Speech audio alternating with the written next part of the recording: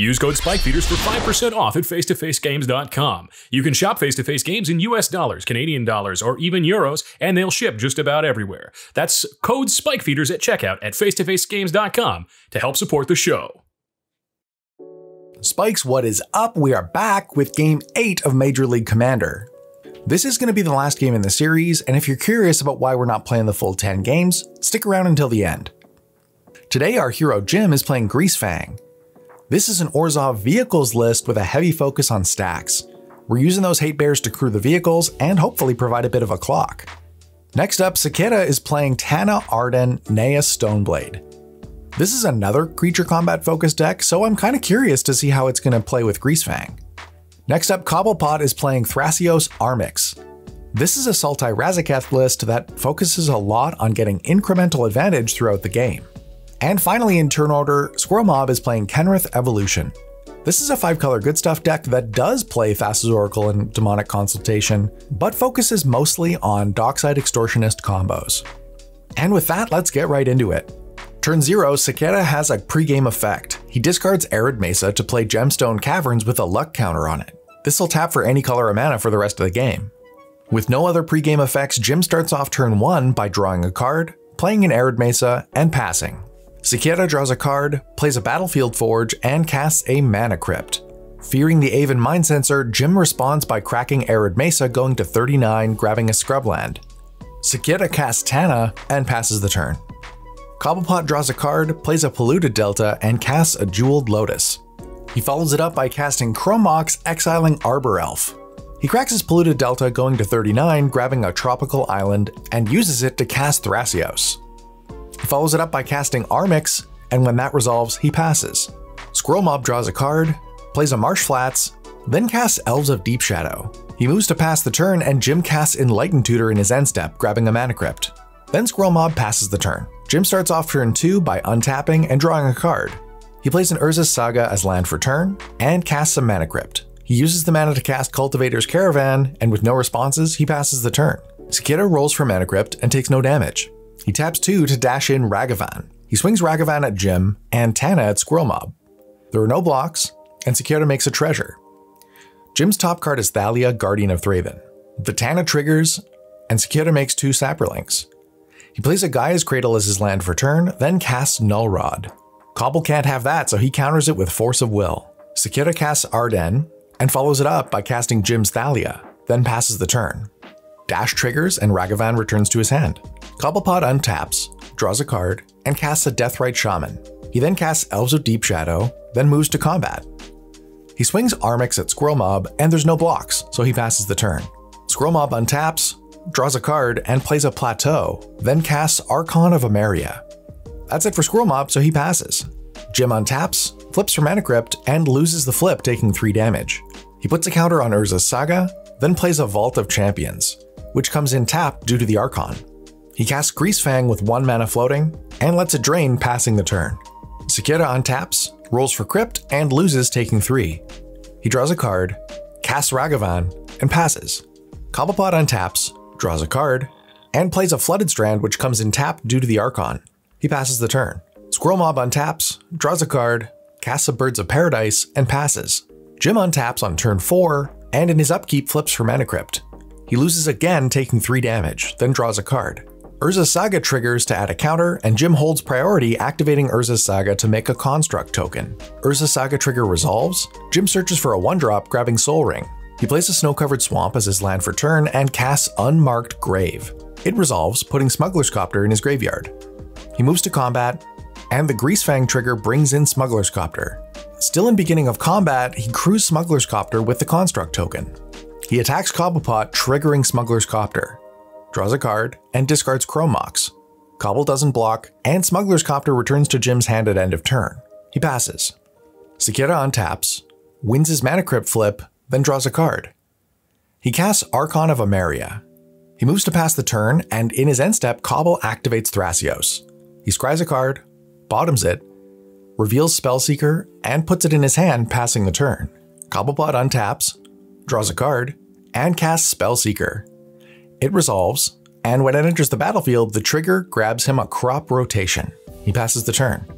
Squirrel Mob untaps, draws a card, and casts Sylvan Safekeeper. With nothing else to do, he passes the turn. Jim starts off turn 5 by untapping, flipping for Mana Crypt, and taking no damage this time. He draws a card, plays a City of Traders, and casts the Smuggler's Copter. It resolves, and he passes. Cicada untaps, flips for Mana Crypt, and wins the flip. He draws a card and casts Stony Silence. Jim responds by crewing Smuggler's Copter. Cicada moves to combat and swings the Archon at Cobble. Cobblepot doesn't block. In Cicada's end step, Cobble cracks Flooded Strand and grabs a basic island. Still in the end step, he activates Deathrite Shaman, exiling Squirrel Mob's Marsh Flats to make a green, then casts Crop Rotation, sacrificing his island to get his own Gaea's Cradle, which enters tapped. Cicada continues to pass the turn. Cobblepot untaps, draws a card, and plays a Scalding Tarn tapped. He activates Thrasios, scrying one, putting it on the bottom, and reveals Mystic Remora, putting it into his hand. He casts Mystic Remora, which costs one more due to the Thalia, then passes. Squirrel Mob untaps and draws a card. With nothing to do, he passes to Jim. Jim untaps, flips for Mana Crypt, and takes no damage.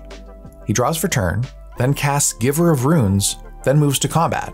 He attacks Cicada with the 5-5 construct, and Cicada blocks with a Saproling. Jim passes the turn. Cicada untaps, rolls for Crypt, and takes 3 damage this time. He casts Commander's Plate, which triggers Mystic Remora, and he taps Cradle to pay for it.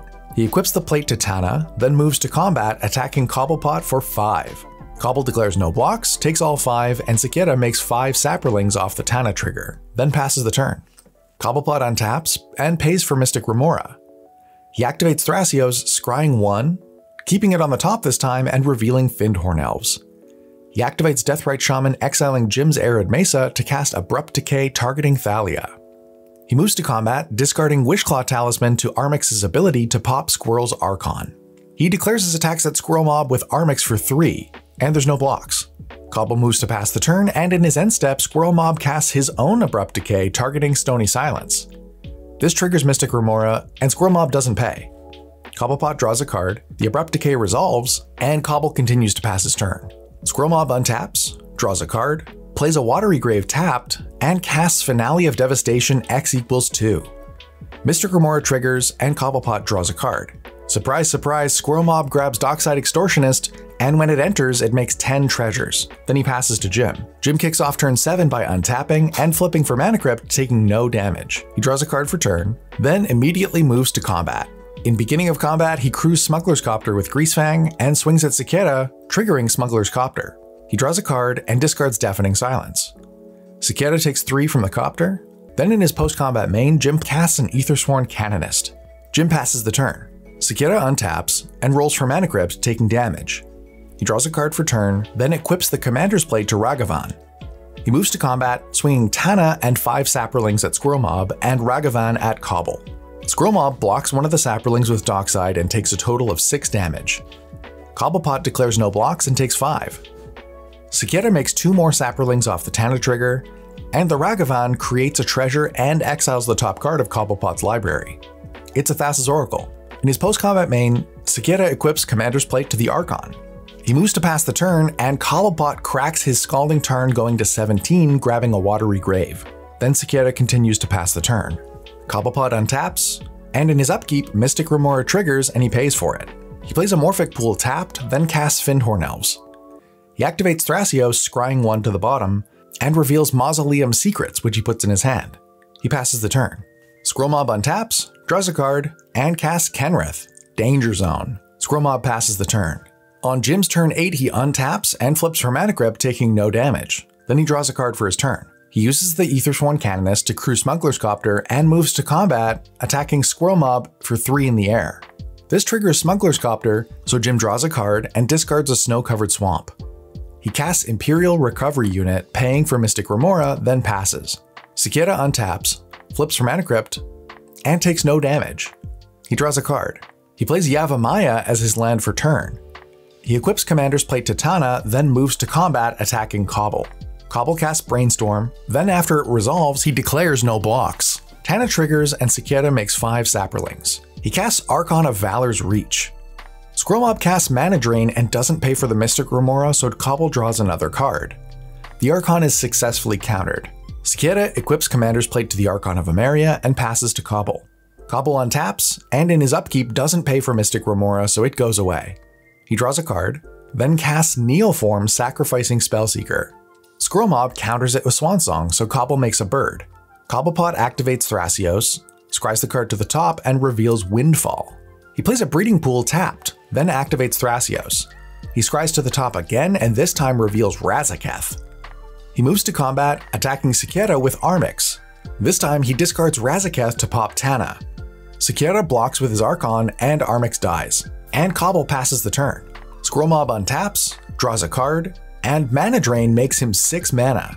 He activates Kenrith to draw a card, then activates it again to draw another card. He pays 4 to cast Natural Order, sacrificing Elves of Deep Shadow. Cobble casts Mausoleum Secrets in response, grabs Assassin's Trophy, then Natural Order resolves. Squirrel Mob grabs Seedborn Muse this time. Jim starts off turn 9 by untapping, then flipping for Crypt and taking damage this time. He draws for turn. He casts Grand Abolisher, he uses Aethersworn Canonist and Grand Abolisher to crew Cultivator's Caravan. Then moves to combat attacking Cicada with the Construct and 5 at Cobble with the Caravan. Cicada blocks with a Saproling, and Cobble blocks with his Bird. Then he passes the turn. Cicada untaps and rolls for Mana Crypt, taking no damage. He draws for turn, then equips Commander's Plate to Ragavan. He moves to combat and swings at Cobblepot, who declares no blocks and takes 5 damage. Cicada makes a treasure and Cobblepot reveals Windswept Heath off the top of his library. Cicada casts Vivien, Champion of the Wilds, and immediately activates its minus 2 ability. He looks at the top 3 cards, exiles one face down, and in his end step, Squirrel Mob taps 4 to draw a card off of Kenrith. Then Cicada continues passing the turn. Cobblepot untaps and draws a card. He plays Underground Sea as his land for turn. He casts Animate Dead, targeting Archon of Valor's Reach. It resolves. He moves to pass the turn, and in his end step, Squirrel Mob draws a card off of Kenrith. Cicada flashes in the exiled card, which is an Aethersworn Canonist, and Cobblepot continues to pass the turn. Squirrel Mob untaps and draws a card. In his pre-combat main, he casts Neoform, sacrificing Birds of Paradise. Cobblepot activates Thrasios, scrying a card to the bottom and revealing Timetwister. He activates it again, scrying again to the bottom and revealing Demonic Consultation. Neoform resolves and Squirrel Mob gets Phantasmal Image. It enters as a copy of Dockside Extortionist with a plus one plus one counter from Neoform. In response to the Enters the Battlefield ability, Cicada flashes in Elesh Norn, and James responds by activating Kenrith to put a plus one plus one counter on his actual factual Dockside Extortionist. This resolves. James activates Sylvan Safekeeper, targeting Kenrith, sacrificing his Bayou, then activates it again, targeting his Dockside Extortionist. This gives both of them Shroud. The Elesh Norn resolves. The Phantasmal Image ETB trigger resolves and makes him 11 treasures this time. James then presents a loop to repeatedly sacrifice and reanimate Phantasmal Image to make 100,000 treasures, then activates Kenrith to draw us all out. If you're curious about the ins and outs about this combo, we have a video coming out tomorrow that explains all of it. Make sure you keep an eye out. Hard loss today, and that brings my record through 8 games to 2 and 6. That's a 25% win rate, and I'm pretty happy with it. Now, at the beginning of the season, I had planned to play 10 games. But there was a little bit of an awkwardness, and we couldn't schedule the last game during the last week of the season. Unfortunately, trying to get four adults in the room at the same time can be pretty tough, and real life gets in the way. I'm not going to get into the ins and outs of what happened, but the three of us in the final two games collectively agreed to concede to Nick, Predatory Pickle, and that punched his ticket to the semifinals. So this is going to be the last game in this MLC series for us. But if you like this format, don't worry. We're going to be recording some games soon with our patrons, and I'm going to be summarizing those and releasing them in this format. So until then, we'll catch you next time. Huge thanks to all of our patrons. We love trying new things like this, and your support really makes it possible. Hey, thank you for checking out the Spike Feeders on YouTube. If you're not subscribed yet, make sure you hit that subscribe button before you close the window. Or you can click on this link to check out our other great videos.